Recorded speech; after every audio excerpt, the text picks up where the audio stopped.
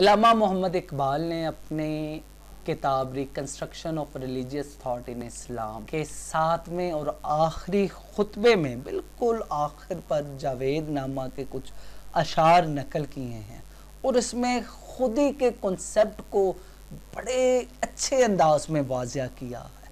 इस कॉन्सेप्ट का उर्दू में मैं तर्जमा आपके सामने रखता हूँ।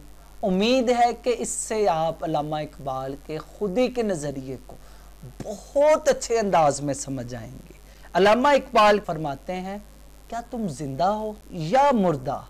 या जिंदों में मुर्दा की कैफियत में हो? अपने मुकाम की शनाख्त के लिए तीन मुशाहिदों से काम लो। पहला मुशाहिदा, तुम्हारा अपना शौर है। अपने शौर की रोशनी में अपने आप को देखो।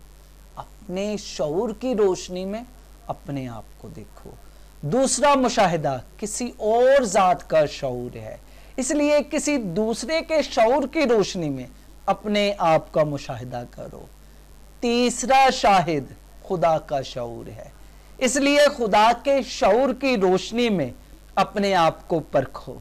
अगर तुम अपनी रोशनी में जमकर खड़े रहे तो समझ लो, तुम इसकी तरह ज़िंदा गैर फानी हो।